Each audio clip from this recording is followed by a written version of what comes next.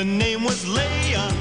She was a princess with a Danish on each ear and Darth Vader drawing near. So R2D2 found Ben Kenobi. Obi-Wan. He'd have to put the Death Star plans into the rebellion's hands. So Luke and Obi-Wan had to get to Alderaan. So they stopped into Mos Eisley to have a drink with